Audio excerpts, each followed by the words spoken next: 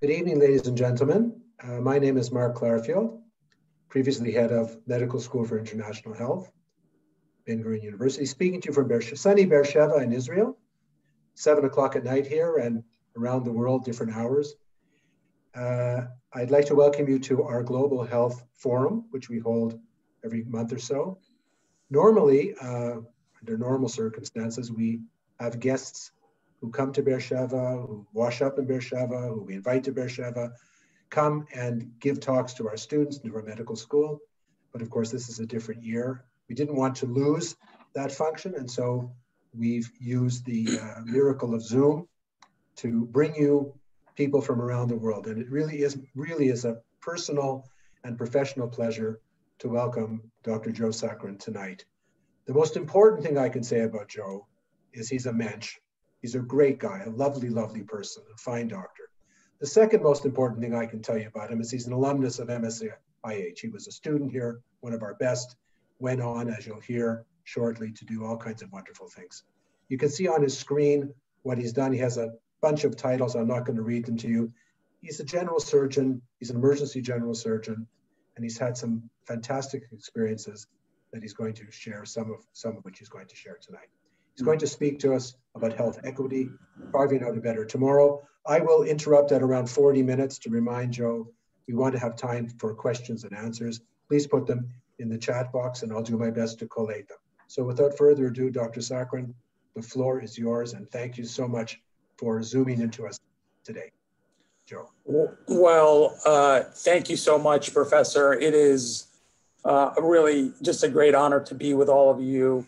Um, not just as someone uh, who uh, has really just a special place in his heart for uh, for Israel, for MSIH, and honestly for all the incredible uh, relationships that I have built uh, since my time there as a medical student. So uh, it's a real honor and privilege, and I really look forward to um, a robust discussion and dialogue. I can't promise I have all the answers, um, but uh, I'm excited to also learn from uh, the experience and breadth of individuals uh, on this uh, Zoom uh, call. So uh, let's let's get into it. You know, I can't really begin talking about health equity without really telling you my own story. And I'll just tell you that this is going to be a little bit of a different type of talk than you may expect. And so uh, it's one of those things where um, I'm hoping that by the end of the talk, you'll realize that each and every one of you, regardless of what you're passionate about, uh, have a story to tell. And being able to tell, tell that story is so critical to being able to move the needle forward on so many of the things that each and every one of us are passionate about. My uh, story actually all began right outside of uh, Washington, D.C., in a place called Fairfax, Virginia. Some of you may be familiar with it. I was born at Fairfax Hospital and uh, born to the son of immigrants uh, that came to the States uh, over 50 years ago. I think in search of uh, the you know better life that is so typical of the immigrant story. And at the age of 17, my life really changed after I went from being a healthy high school senior to collateral damage uh, and nearly being killed when I was shot in the throat with a 38 caliber bullet. And so it's really hard for me to start uh, talking to you really about anything, but especially about these issues without recognizing uh, the two uh, surgeons, Dr. Bob Ahmed on the left and Dr. D. Mukherjee on the right, who along with their teams uh, gave me this second chance uh, this really just incredible opportunity uh, to try to make a difference in the lives of other people. And as I've told um, Dr. Kotel and Clarfield and so many others before, uh, I think most 17 year olds, you know, they have no idea what they want to do for the rest of their lives. And I, I love this Brad Paisley song because it says at 17, it's hard to see past Friday night. And I think what, you know, this means to me at least at that age, most of us, we have no idea what we want to do for the rest of our lives. Um, and I think I very much fit into that you know, category. We don't necessarily appreciate uh, the people that we have in our life. And so when this incident happened, it really was a huge wake up call. And I remember um, actually sitting, uh, uh, I was actually uh, sitting in, the, um, uh, in my room. I had been out of the hospital for about a couple weeks. I had a tracheostomy tube. I had these beet red scars up and down my neck. And I, I walked to the, to the restroom and I'm looking in the mirror. And what I didn't realize is that my, my father was standing in the corner. And I think, you know, dad like looked in and he saw this kind of look of devastation uh, in my eyes. And he came in and I, you know, he did something that really kind of changed the entire trajectory of, of my life in many ways. He said, you have two choices. The first is you can, you know, decide to feel sorry for yourself. Um, and the second is you can take this horrible incident and turn it into something positive and that's really you know what inspired me to go into medicine. It's what inspired me to you know then become a trauma surgeon. And it's what then recently has pushed me to work at the intersection of medicine public health and public policy. And i'll tell you I, I show you this picture here because i would not be here without all these people in my life who have been there through you know the good times and the bad uh, you know regardless of what's going on and all of us have these individuals in our life that help prop us up, especially uh, at times when we need it the most. And it's really what ended up taking me to MSIH. And I, am just so never expected to go to MSIH. Um, I think, like I told you, my, my parents had immigrated to the States and they were actually living in Israel uh, before they uh, came to the US and had spoken so highly about um, both the medical education and just the experience and the culture uh, that Israel brings, um, not just to its surrounding communities, but to, to the world really. And so I had, you know, the opportunity to uh, spend an incredible number of years, really, as, as many of you know, in addition to the, to the basic kind of US science curriculum, exploring things that really focus on vulnerable uh, populations, whether it's disaster preparedness or refugee healthcare. And that was really just so powerful. And it really prompted everything else that happened in my life. I ended up going back to Fairfax, where um, I was a surgical resident uh, under the individuals that actually operate on me. And that was um, really honestly something that is hard to even articulate in words what it means to operate with the people that saved your life and feeling that you had to be you know the best version of yourself possible it also then, you know, led me to the trauma center at Penn, where I really refined uh, my skills as it relates to traumatology and surgical critical care. And I think one of the things, as I was at MSIH, thinking about how do I, you know, really incorporate the theoretical and practical skills of public health, had gotten me to um, take a take a year off and spend a year at Hopkins doing um, an MPH. And this really um, had a lot to do, honestly, with uh, Rivka Carmi, Chaim Nagan, who, you know, I think put so many of those important principles around public health into my mind, making me realize that there is a lot of work to be done beyond simply the operating room or beyond the trauma center. And I love this motto uh, at Hopkins where it says protecting health, saving lives millions at a time. And I think this really kind of demonstrates both the opportunity and the responsibility that we have to really think beyond just the individual patients that we take care of. You know, as time goes on, I think we, you know, at least for me, the more I learned, the more I realized how much I didn't know.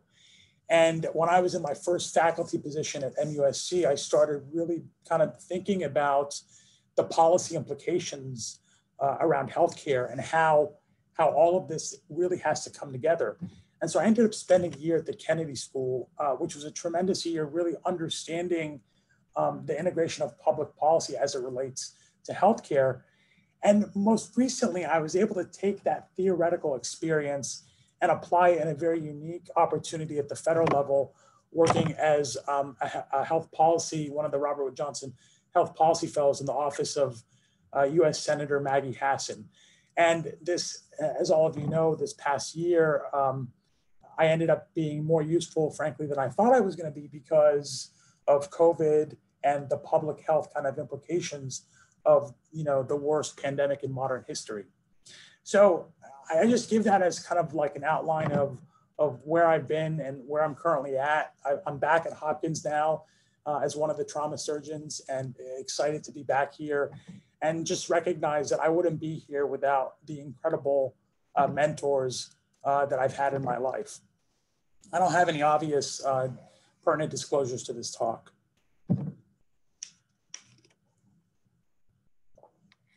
So we'll, we'll quickly kind of outline the scope of the problem. Um, I'm going to talk initially a little bit about gun violence because this is the area I work uh, a lot in, but we're also going to highlight the health uh, inequity issue as it relates to so many other disease processes. We can't cover everything, right? And I think it's important to note that literally uh, you could spend you know an entire semester studying all of the health inequity problems that exist and still not get through everything. So this is a snapshot to kind of give folks a little bit of a picture. And we'll talk about some of the challenges moving forward. And we're going to end again in, in a little bit of a different way in me talking to all of you about like the importance of telling your story and public narrative and being able to take that narrative and turn it into action. You know, I want to uh, start with this picture because I was, I, I, think this is important. And you'll see at the top, it says uh, perception. And I, and I show this for a couple of reasons. The first is this, this was a picture that was taken when I was in college. I was a firefighter at the city of Fairfax. And some of you that are looking at this picture are probably thinking, okay, you know, there's Joe, um, another photo op as the building behind him burns down. And the reality of that picture is this was a training exercise. And so as we had come out of the building, the other team had gone back in. And I show this because I think it's important to understand that perception is not always reality. And as we talk about really emotionally charged issues, whether it's gun violence or racism, I think it's important to really listen with the uh, intent to understand versus, you know, the intent to like just simply judge people. And I think some of you have probably experienced this where you walk into a meeting and you hear someone that says something that you may not agree with. And so if you think about what happens when that scenario takes place, it's actually quite interesting because, you know, you stop listening to them and we know that 90% of communication is nonverbal. So they stop listening to you. And the breakdown in communication doesn't just happen for that one instance, because in the future, you remember that this is the person that said something you don't necessarily agree with. And so I think, you know, I really try to do, um, again, I'm not perfect, but try to do the best job possible of trying to hear other people's point of views and understand where they're coming from. And I think that this is important. I mean, obviously, I'm, I'm in the States, but I think in general, you know, whether you're in the States or you're in Israel or elsewhere, a lot of us as humans, we have a lot of the same um, end goals and ideas. I think the difference lies in sometimes the ideological kind of drive of how we get there. And so that commonality that exists among us, I think is so important. You know, for firearms, you can see that um, uh, this is a, a, public health problem that we face uh, in the US. And you can see there that two thirds are actually suicides, which most people don't even discuss, a third homicides, and the other unintentional, and a potpourri of other other things. And I think what's interesting is when you look at this, it is so critical. And again, you know, this is not going to be a talk just on, on, on firearm injury, but I just want to show you one aspect of it. It's so critical that you look at this by age, gender, and race. And so when you look at what happens, right, for individuals here as it relates to, to homicide rate, you can see all ages is about four and a half per hundred thousand. Well, what happens when you look at white males? Well, you can see that number drops. Okay, well, we know trauma and, and gun violence is a disease of young people. So what happens when you look at young white males? Well, you can see that number goes up. In fact, goes up greater than, than all ages. What about now looking at black males?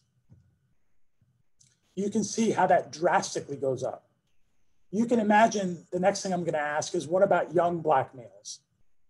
So just take a look at this for a second and look at the disparity that exists when you compare this by age, by gender, right, and by race. It is significant. And I tell you this because I think we have a conversation issue in the US where a lot of the gun violence is highlighted on these mass shootings. And I'm not trying to, um, you know, say that it's not important to focus on mass shootings and to figure out how do we deal with this aspect of gun violence.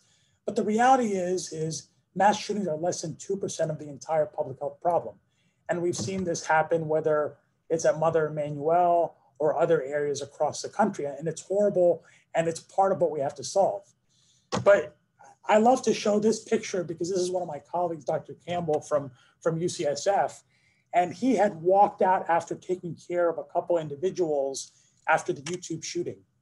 And one of the things that he was really surprised about was the fact that there were all these reporters outside. And it was, I think, uh, they had two patients that had been brought in at the time. And what he said to them was, you know, where were you when, you know, four African American men were brought in yesterday? And I think this highlights the point that, you know, um, the media doesn't necessarily always focus on the fact that every day in cities all across America, cities like Baltimore, Philadelphia, Chicago, there are young Black men that are being killed on our streets. And those stories often go untold. So I think we have a responsibility to tell those stories. Now, the issue goes far beyond gun violence. And I love this, you know, piece where it says, you know, all human beings, regardless of race, we're more than 99.9% the same. It's pretty kind of fascinating. Yet that small difference has a lot of implications. And as we look at racial health disparities, right, uh, it's significant, really, frankly, across the board. I mean, whether you're looking at um, death rates for heart attack and stroke, which are 29 and 40% higher, respectively, for Blacks compared to white Americans. Or if you're looking at African American women who are less likely to be diagnosed with breast cancer than Caucasian women, but are 40% more likely to die from the disease. And the same exists for cervical cancer right? Black women are twice as likely to die from cervical cancer than white women. And the story goes on. So we're going to show some of these different examples um, so you can see how they're highlighted. And again, I've just picked some primary examples, but there are many that one could show. So when you look at appendicitis, I treat a lot of appendicitis. Appendicitis is one of the most common um, causes, surgical causes of abdominal pain.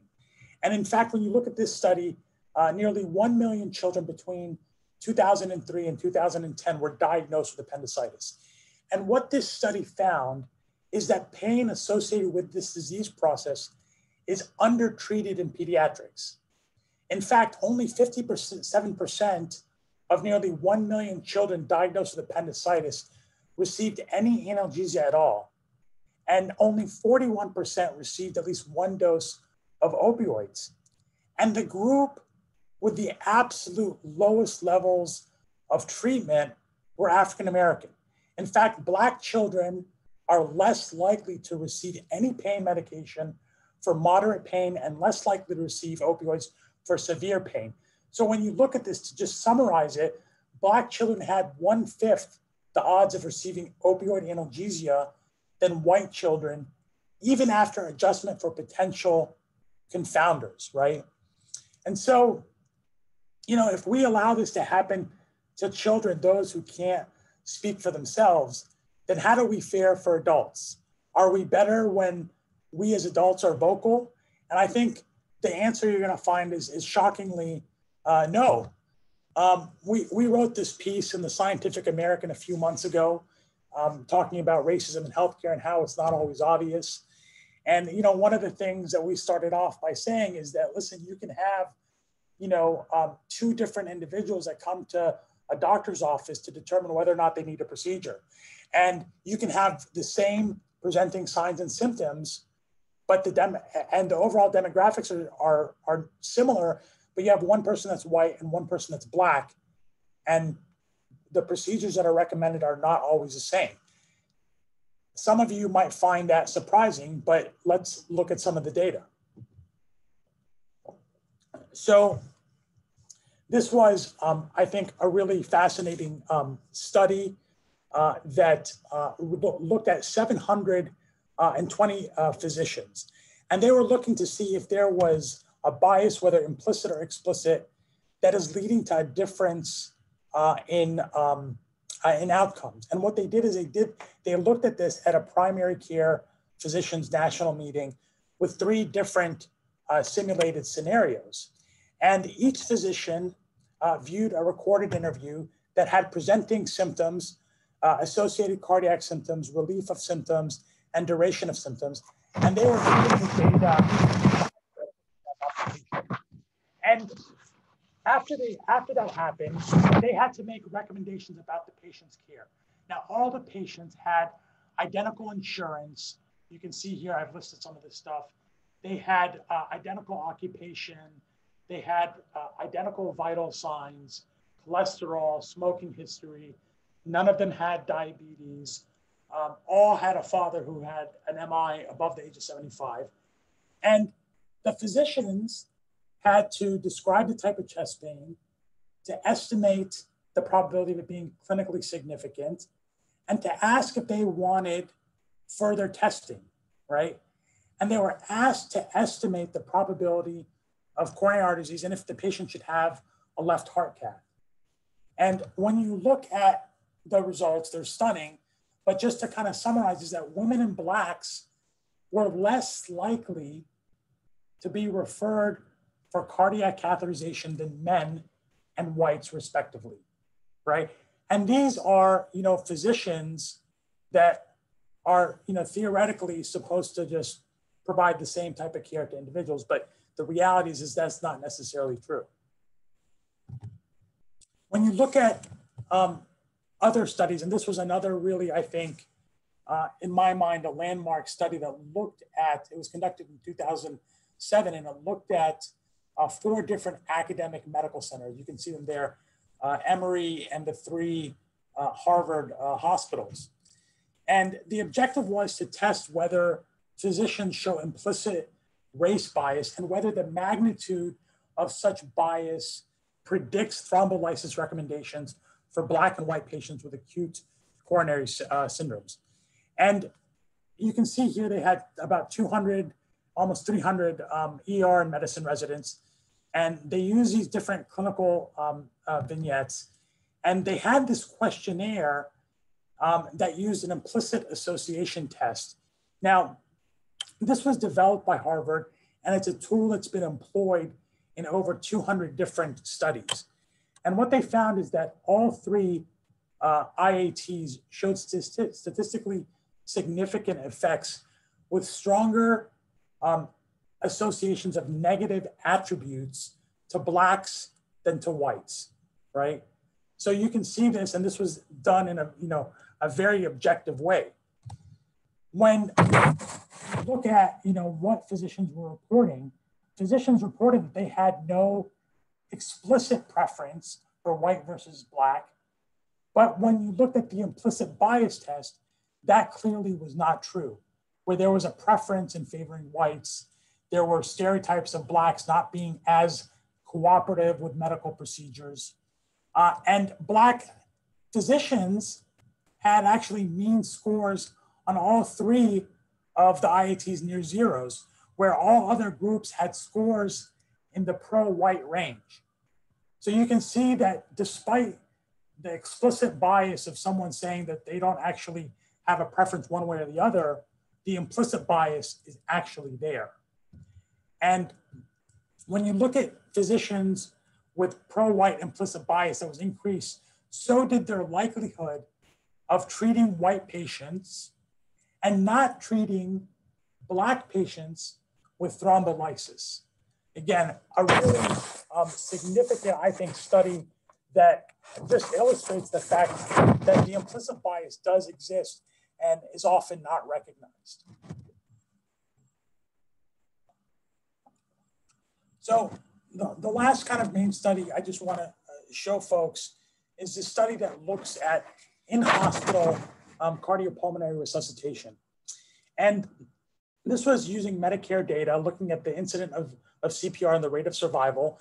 And they looked at both patient and hospital level, level uh, predictors to discharge.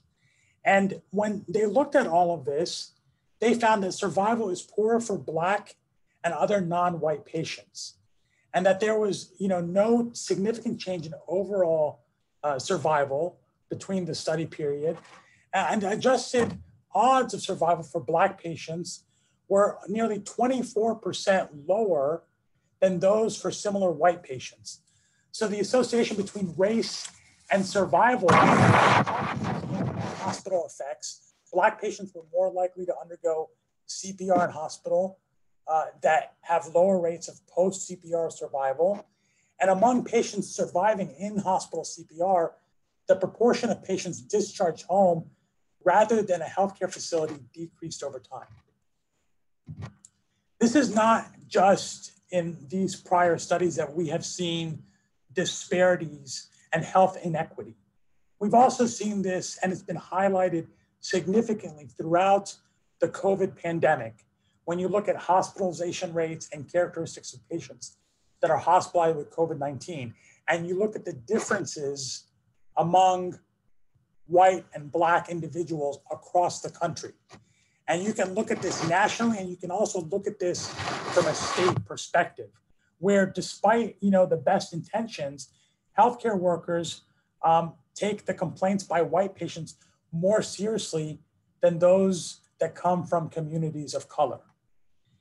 And so, you know, this is just, I think, a very small kind of uh, lens into this public health problem that we are facing uh, in America. And when you look at uh, these issues, I think it's very, very complex. Um, there's a lot of factors that go into this as we talk about the social determinants of health and things like housing and you know, food security and education, or if we're talking about, you know, the ability to, you know, be able to afford your medications or to actually have trust with your healthcare provider or your healthcare system, right? Or what about, you know, the fact um, that frankly there exists this rub, and we see this in Baltimore sometimes between the surrounding community and the very wealthy healthcare system. These are all issues um, that you know relate to the structural problems that exist that have prevented us really, I think, from making headway on some of these different uh, factors that we've discussed. And part of, I think, what we have to do and what there is a significant focus on is trying to break down the silos that exist within cities. Right now, you have, you know, these structural issues, you have public health department issues, you have hospital and healthcare issues, and they're siloed off. We need to break down these silos and get people working together in parallel. And that's been something that has been a big focus, I think, in cities across America as well, most recently at the national level. Um, but we have a, a ways to go. As it like specifically relates to gun violence and what we're seeing here, it's it's very similar, right? um, whether you're talking about treating the patient that's coming in with a potential MI versus treating, you know, gun violence epidemic that we're seeing in Baltimore and across the country, there's a biopsychosocial disease that often doesn't get considered. And so in order to treat these complex public health problems, we have to really, um, you know, change our focus. A lot of times we're trying to change human behavior which we know in and of itself is not cost effective. We really have to approach this in a way that allows us to develop a system that makes it less likely for people either to become ill or, in this case, injured. So, framing it in that way is so critical. One of the things that's come out of COVID is, I think, um, a stronger magnifying glass on the the health um, inequity that exists. And in order to address this, the Satcher Health Leadership Institute, as well as the CDC Foundation, established a health equity task force. And this task force was a very robust task force with individuals from all across the country with all different experiences. And really, the goal was to monitor and try to address the disparate impacts that we're seeing on vulnerable populations, including communities of color. And so a, a data consortium was created, uh, and there was really four different key components here. The first is they uh, partnered with Google in order to establish this task force to have this multi-sector data consortium that is devoted again on COVID-19 impact, but I think will actually have repercussions way beyond COVID-19. But then um, developing a standardized evidence-based practice, trying to figure out how to be socioculturally responsive uh, from a resource perspective and from a technical perspective, and really trying to bring together the local, regional, state, and national organizations so that they can improve this collective response, whether you're talking about simple data collection or you're talking about therapeutic interventions or things like testing. I think the third piece is really trying to analyze some of the different policies that exist among jurisdictions that can exacerbate or alleviate uh, the COVID 19 outcome. And then, of course, a real focus on mental and behavioral health, which, you know, my brother's a child psychiatrist, we talk about this all the time. The lack of access um, is just, just horrendous and something that really needs to be addressed. Uh, Daniel Dawes, who's executive director of um, the Satcher Health Leadership Institute, a phenomenal um, uh, individual who's really been a leading force for health equity. And he wrote this book uh, called uh, The Political Determinants of Health.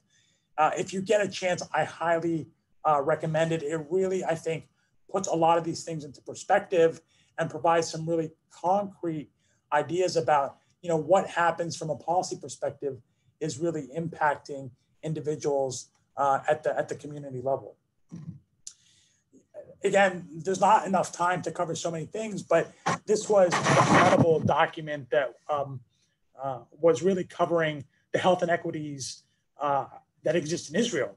And I think when you look at Israel as a whole, and I, I've attached the, the PDF there, it's a really tremendous document with a lot of good uh, information.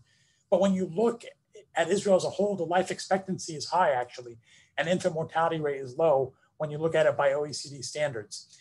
However, when you stratify it based off of different indicators, whether it's looking at um, non Jews versus people living in more rural areas or the periphery or socioeconomic uh, status, we know that those populations actually have uh, worse um, health outcomes.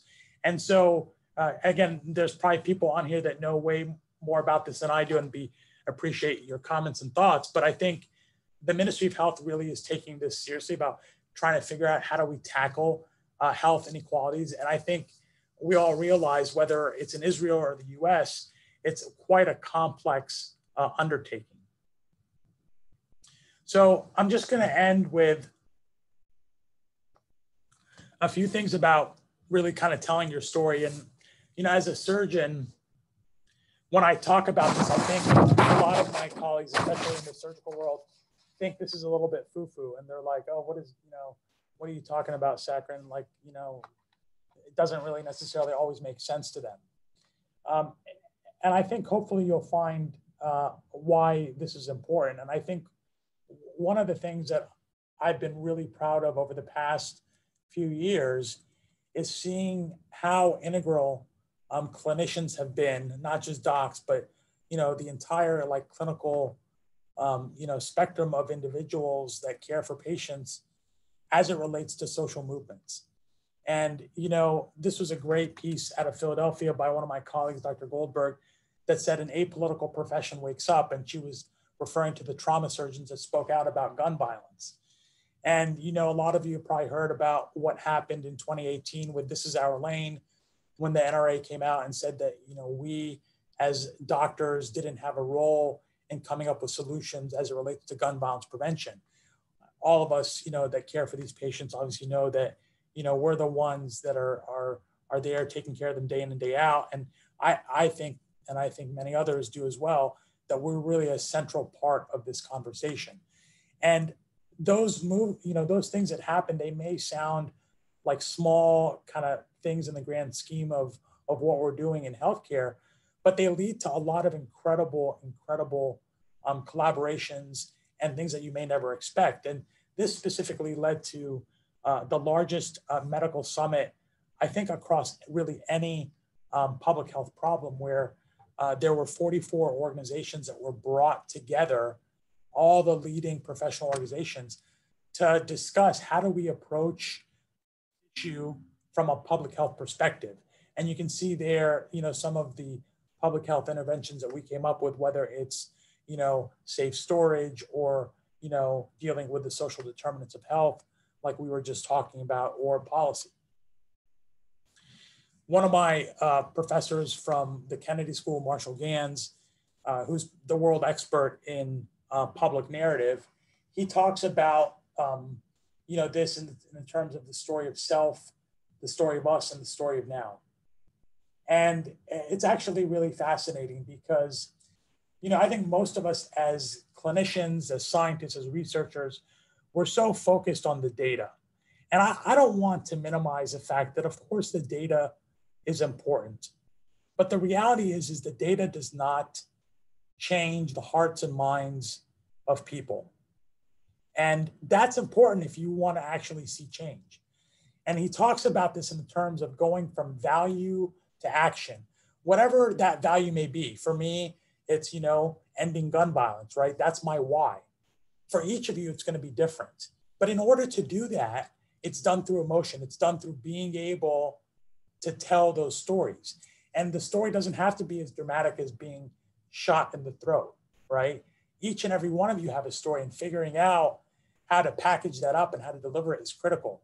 In fact, I always ask my medical students, I'm like, hey, I'm like, what's your story? And the beginning of the rotation, they're like, I'm a third year medical student on your rotation, and I want to do this, right?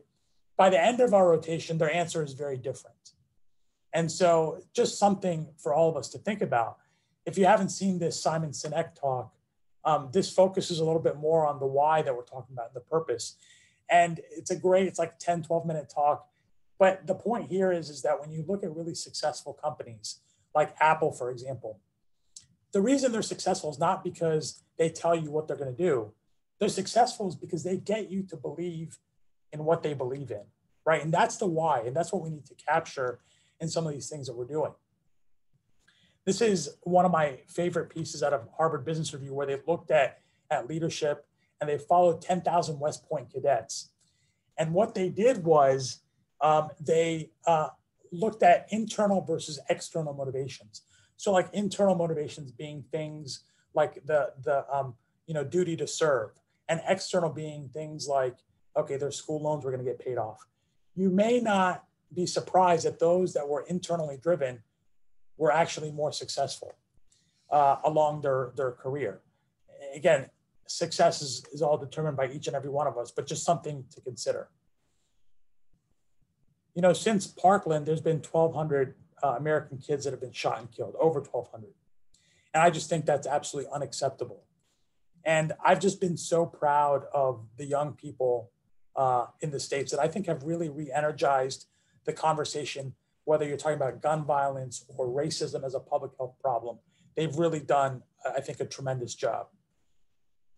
I never really kind of appreciated the power of my own story, to be honest. And it wasn't until I was in Philadelphia where I was a fellow there. And what we would do is we would bring in um, kids from surrounding areas. And we, I'd give them a tour of the trauma center. And then I would talk to them about gun violence. And the first time I did this, you know, I had started, I hadn't told, I didn't tell them my story just yet. And I was just giving them an introduction to the public health problem. And they were kind of paying attention, but not really. Now, look, they're 14, 15 year olds. So, like, we all get it, right? I went ahead and then told them my story. And all of a sudden, all of their eyeballs focused on me. And it was frankly a reaction that I had never seen before and one that I wasn't expecting. And I think in that moment, what I realized is I went from being this person wearing this white coat to someone that could actually relate to what these kids were facing in their communities day in and day out. And I think that's so important as we try to address some of these issues right within communities across America or in Israel or elsewhere. So I'm going to leave you with a couple things. You know, my, Professor Ganz says if you're in public life, you have to learn how to tell your story. I would actually switch this around. I think, regardless of what you're doing, you have to learn how to tell your story. I think it's so important in the impact that you can make on others. And when you look at these kids, um, they don't need a caption because they've done such a great job of telling you their story. So my thing to you is, what's your story? And really try to think about this. Um, the other thing I, I just want to say and just end with is that, look, like I love what I do as a clinician. Um, and I found this in a fortune cookie and said, to love what you do and feel that it matters, how could anything be more fun? And I think it's true. I mean, the fact that uh, someone is going to put their trust in your hands and allow you to take them to the operating room, I just can't think of anything that is just more gratifying. But one of the worst things and worst parts of my job is having to talk to these mothers and fathers uh, and sisters and brothers, frankly, and tell them that their child that left that morning is never coming home again. And I'll never forget, I think I've told, I know definitely Lynn, I've told her about this, but I'll never forget a recent um, story of a 17 year old kid who was uh, shot in the head, had a devastating traumatic brain injury. And I had to go up to the ICU and talk to this kid's mom and, you know, tell her essentially that, you know, her child was never coming home again. And as I went up to the ICU, I was, you know, in the nursing station and I was looking in and we had these big, like clear glass windows. And I'm looking in and I just, you know, see this mom holding her son's hand and realizing that what I'm about to do uh, is completely rock her world. And it's the it's the hardest it's the hardest part of my job. And it never gets any easier. And so i walk into this room and um, you know introduce myself and the team to the mom and i begin telling this mom uh, about uh, her son and the devastating injury and uh, as i began telling her all of these things she began telling me about her son how he was the first in their family to graduate from high school which in Baltimore in the African American community is a big deal. Uh, he had hopes and dreams, just like so many of us, to go to college. And none of those will ever come true. And as, you know, she was telling me that she looks up and I think she saw how emotionally impacted we as the healthcare team were as well. And she walked over and she did something that I'll just never forget. But she put her hand on my shoulder and she said, Are you okay? Now, just imagine this for a second. Here's a mom that just lost her son, and she's asking us if we're okay. I think it's moments like that which really kind of restore uh, my faith in humanity and that get me to wake up every morning to try to make a difference in people's lives. And in my case, uh, you know, reduce firearm injury and death in America. I'm here chatting with you because I have incredible partners that are doing the hard work, which is keeping the patient at the center of the equation. And I'm just so grateful for so many mentors and for all of you for really providing me the opportunity uh, to be here. Thank you very much.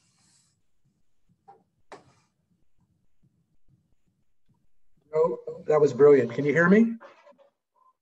You yes. can hear me? Yes, sir. Yeah, that, that, that, not, not unexpectedly, that was absolutely brilliant and inspiring. And I want to thank you on behalf of all of us uh, for that. Really, when you know, it's it's late. It's it's already late in the evening here, and I've been working since early in the morning. But it was really worth the wait. Boy, it was really worth the wait. So thank thanks again. The, thank you for the opportunity.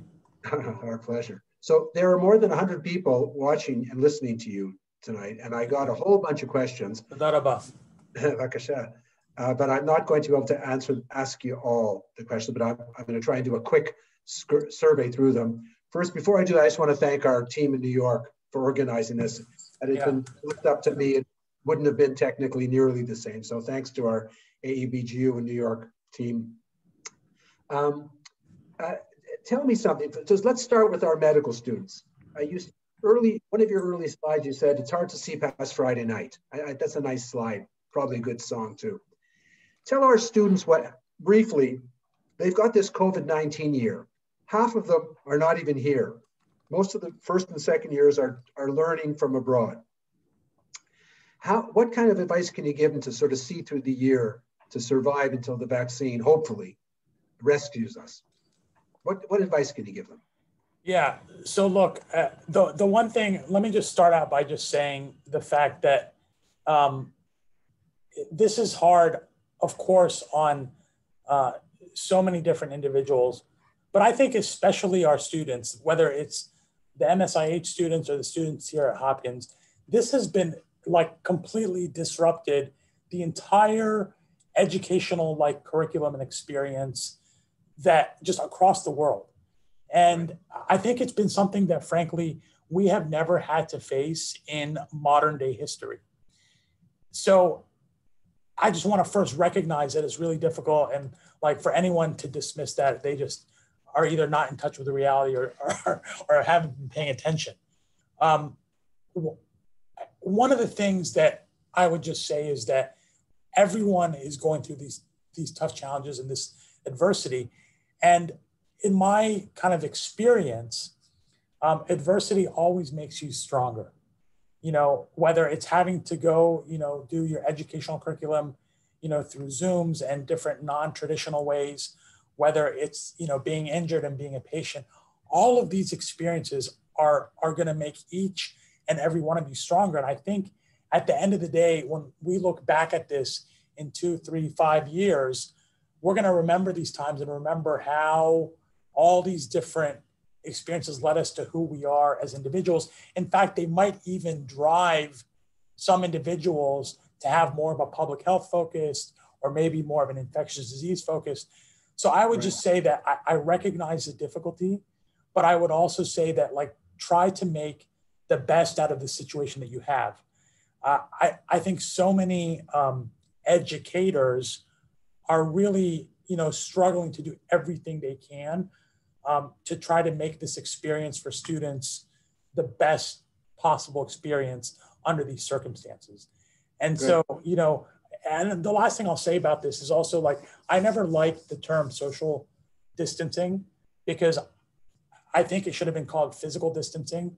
Correct. Um, the the human to human interaction and that lack of interaction I think is taking a big toll on on ind- individuals and society in general, but especially on healthcare workers, especially on our medical students that are now rotating through and having to see you know these type of issues and not really have an outlet to debrief or to or to discuss it. So I would just say that you know try to find your your safe social networks that you can still maintain some of those those conversations because they're so critical.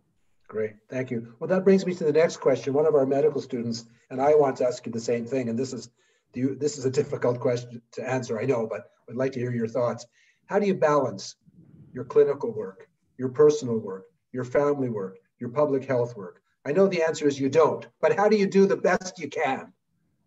Yeah, I feel like a little bit of a hypocrite answering this question because in just full disclosure, I have I have the worst probably balance ever. It's been something I think it's been one of my biggest weaknesses, to be honest, is um, you know after my incident, I was so uh, professionally driven that I forgot about my personal life.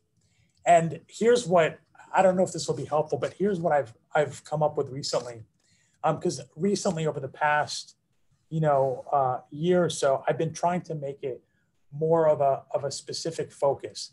And I think it's important to try to do that and make time for things that you think are priority, whether that's family, whether that's working out, whether that's spending time with friends, whatever it is, you have to make that a priority. S- similar to to you know brushing your teeth or or you know the the basic activities of daily living right?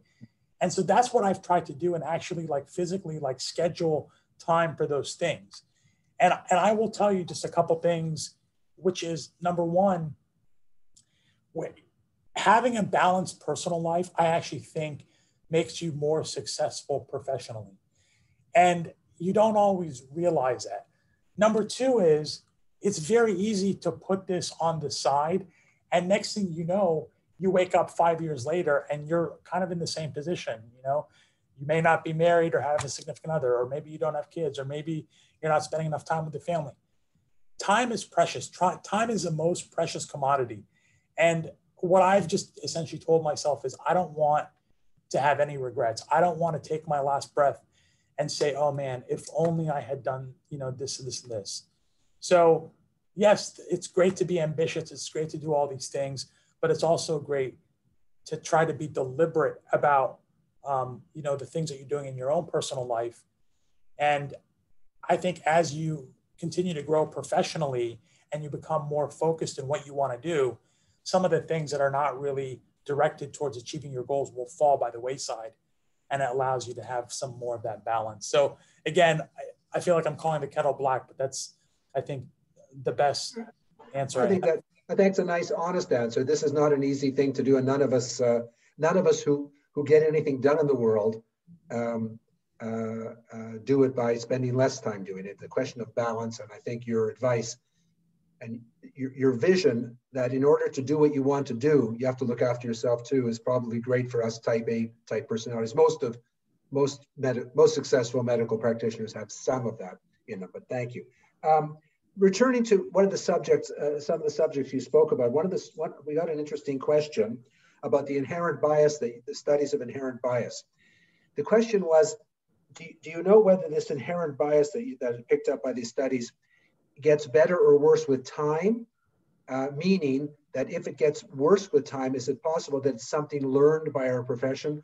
Or if it doesn't get worse with time, is it something perhaps we bring our biases into our practice. Any thoughts on that? Well, I think when you start looking at um, the, the field in general of looking at like disparities and these issues is relatively young compared to just medicine in general, right? That's the first right. thing to say about this. The second thing to say, I think certain aspects have gotten better in time in the sense that we're now actually starting to have those conversations and the the realization that these disparities actually exist. And it's becoming a focus within healthcare systems departments schools of medicine where this was never the case before. Now you know part of it is like of course building that infrastructure to be able to like intervene and to recognize it and we're doing it here at hopkins where there's a big effort to look at this bias, but we still have a long ways to go. And I right. think I think part of it, and we saw this mark in COVID, part of it stems from the fact that we still don't have really robust data necessarily that aligns at the local, state, and national level. And that's part of what this collaboration that the CDC Foundation and the Satcher Health Leadership Institute are trying to do because the data is going to be critical, not just to allow us to figure out where specifically the pockets of problems are, but also whether the interventions are actually useful and are making a difference. So having those metrics are critical. Yeah, thank you. Um, one of the questions related to gun control asked whether this is, you're, you're framing it as a public health issue, where many people have dealt with it as primarily a political issue. And you've just been through a very bruising a political campaign that that that isn't really over. I'm, I, you know, it will be over soon, but it's not quite over yet. I don't want to go into it in any more detail than that. But but how, how do you see this as a, a political? Because the, the question was the only way to solve this is a political solution, and why do you bring a public health uh, uh, approach to it? That's the question. Thoughts on that? Yeah, political no, versus public health. Yeah, no, thank you, thank you for that for that question look, a couple things, a, couple things to say about this.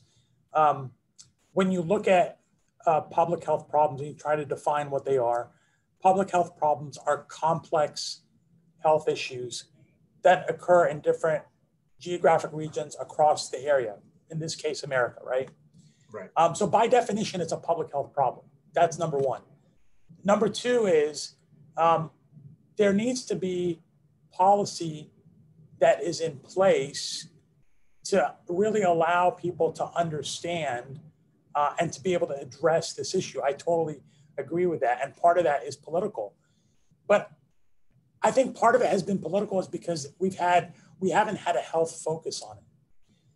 When you look at in the 60s and 70s, right, there were motor vehicle fatalities. And what did we do then? Did we get rid of cars? No. We just came up with, you know, seatbelts and airbags and we made roads safer. We switched from really trying to figure out how do we change that human behavior that we were discussing and developing a system that makes it less likely for people to be injured. And that's why the fatality rate dropped. And so, I, so in looking at this as a disease, I'm looking at all the different ways, and there's no one solution, but all of the different ways that we can implement a multifaceted approach.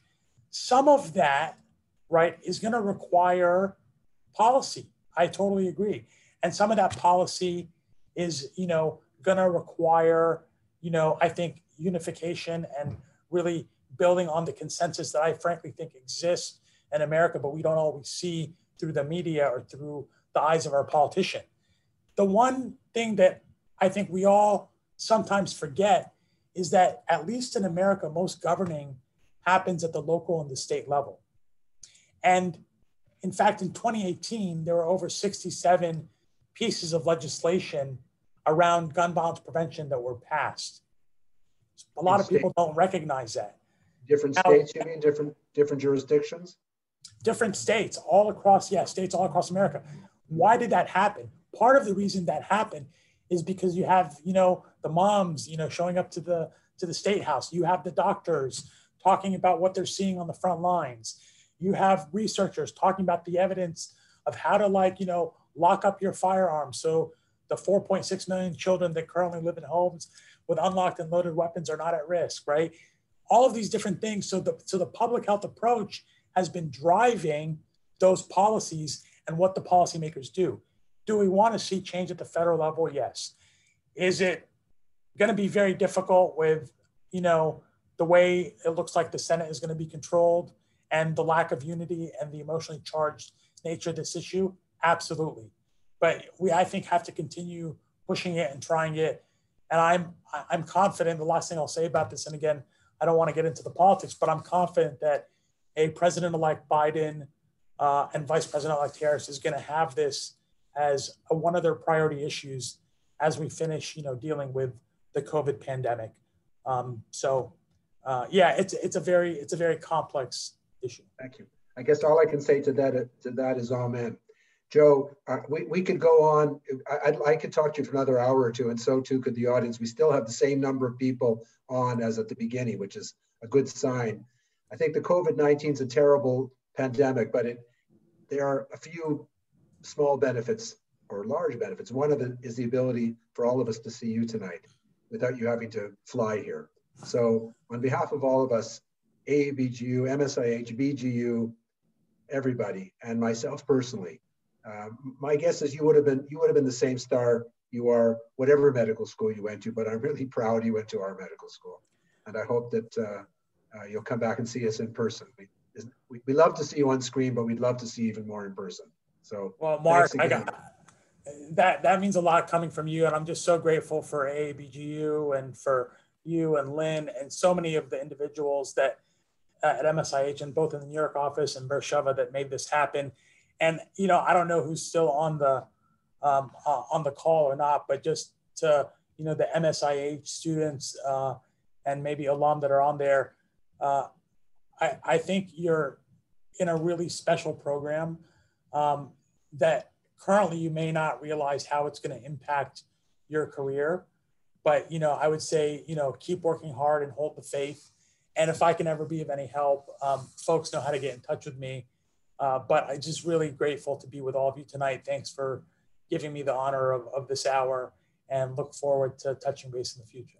Well, we really appreciate your time. So on behalf of MSIH, BGU, AABGU, I want to thank you, Joe, Dr. Sakran, and I want to say goodnight to all of you because we promised we'd finish on time. So yeah. all the best. Stay safe, stay healthy. Bye. Bye.